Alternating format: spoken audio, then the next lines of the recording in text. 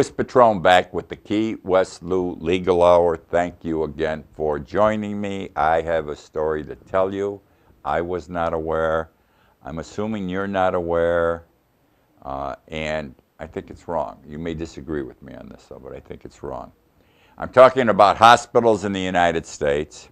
I'm talking about illegal immigrants, immigrants illegally here, undocumented persons, illegally here, undocumented persons who get hurt. I'm going to be speaking of medical reparations. It's a new term today, my friends. Medical repar reparation.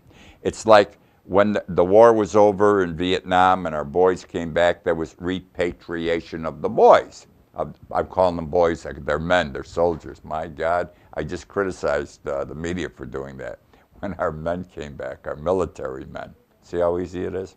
Anyhow, uh, what's happening is this. I'm going to give you the scenario now. Immigrants come to this country, they're here illegally. They're not citizens, obviously. They go to work. They get injured, not even at work. Let's have an automobile accident, terrible automobile accident. They go to the hospital.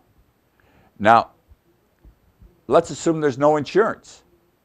The hospital will give them emergency tr treatment and perhaps even more because under the law in the United States, a hospital uh, must take care of an injured person even if they cannot pay until they are stabilized. Stabilized is the key word, stabilized is the operative word. Once they're out of danger, the hospital has no further obligation to care for them.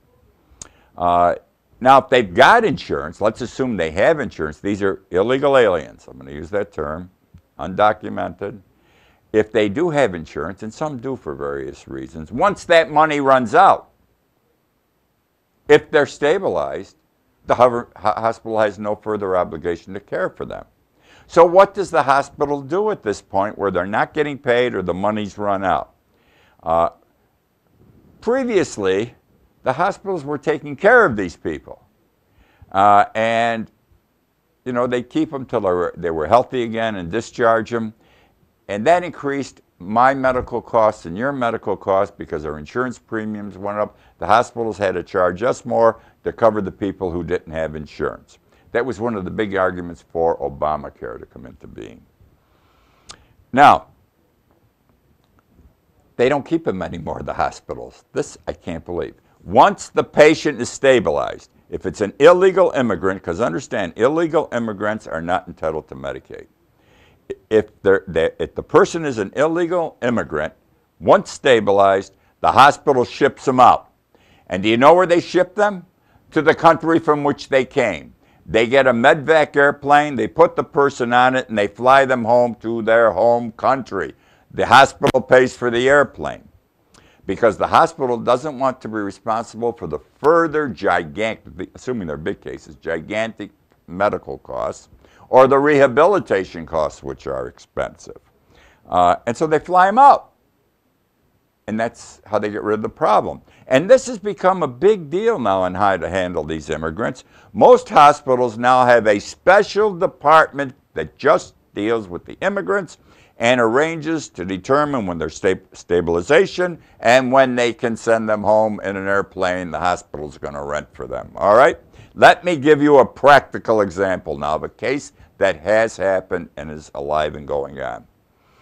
Uh, we have two gentlemen. Uh, by the way, what I'm going to, all these things what the hospital's doing violates the code of ethics of the American Hospital Association. In 2009, they, the Council on Ethical and Judicial Affairs of the American Hospital Association said, you can't do what I'm talking about. You can't, once they're stabilized, put them on a plane and send them home. It is unethical conduct, but the hospitals are doing it. So let me tell you the story of Jose Rodriguez Saladuna and Juanito Cruz, two men. They're illegals from Mexico. They're working for some fellow who works with pigs, pork producer was called. Fortunately, on the job, they have health insurance. Each of them has a, to a maximum of $100,000. Well, Jose and Juanito got in an accident, an automobile accident. Both severely injured, both with brain injuries, both immediate heavy surgeries, maybe more surgeries. You're not going to believe what I'm going to tell you. Within five days, within five days of their accident and they're entering the hospital, the $100,000 had been eaten up on the hospitalization policy of both of them. The 100 grand was gone. Hospitals are expensive. I think they overcharge. Time magazine three months ago had an excellent article on how hospitals are, are gouging the American public and the insurance companies. For example, based on this Time magazine article, I'm telling you that when you get a bill the from a hospital, built into that bill is the cost of the ink in the ballpoint pen that the nurses and doctors use to make notes. They figure out how much of that ink's being used just out of a simple ballpoint pen. They do not miss a stroke, the hospitals today. They're very affluent. They know what they're doing. They're very smart. They know how to make money. I will also tell you, based upon this Time magazine article, that hospitals are very profitable today, extremely profitable. They charge for everything. You take a simple aspirin that they may pay 50 cents for, 20 cents for, they charge you $15. With that margin of profit, how can they miss? So these two guys are in the hospital. Within five days, they've had brain surgeries and everything else. They almost died. The 100 grand's gone. The hospital says, we don't want them anymore. This is an Iowa hospital. We do not want them anymore. We've got to get rid of them because we're not going to pay for further surgeries. They're stabilized. That means they're alive. They were unconscious. They, had, they were comatose during everything I'm telling you when it occurred. They're out cold comatose. They're, they're going to find a place to send them. They have a department that does this, the department I told you about, just to find out how to get rid of these uh, illegals. On the 11th day, they put them on an airplane, these two gentlemen, who they were still comatose. It was 11 days since the accident. Neither one has come to yet. They're comatose. They have nothing to do with even the decision involved here and ship them home to their community in Mexico from whence they came. One is semi-paralyzed today. One is still in the hospital down there. The other one didn't get proper rehab. He tries to sell envelopes and stationery. He forgets where he is. People have to take him home because he doesn't know, remember where his home is. He has a leg he drags. Well, the hospital got rid of him. Uh, the hospital paid for the airplane. That saved them money. Can you imagine? These two fellows are comatose. They have not come to in 11 days, but they're stabilized, which means they are going to live and they're put on the airplane by the hospital and sent home. I think this is terrible. I'm, I, I absolutely think this is terrible. Uh, I mean, who's going to pay for it? I know. We got to work all these details up. That's inhumane. That's not American. That's wrong.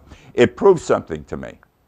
It establishes something I've always known, and perhaps you've always known. Money controls. Money is the boss. So the hospital isn't going to get paid. They don't have to do God's will, God's way. They don't have to take care of these people.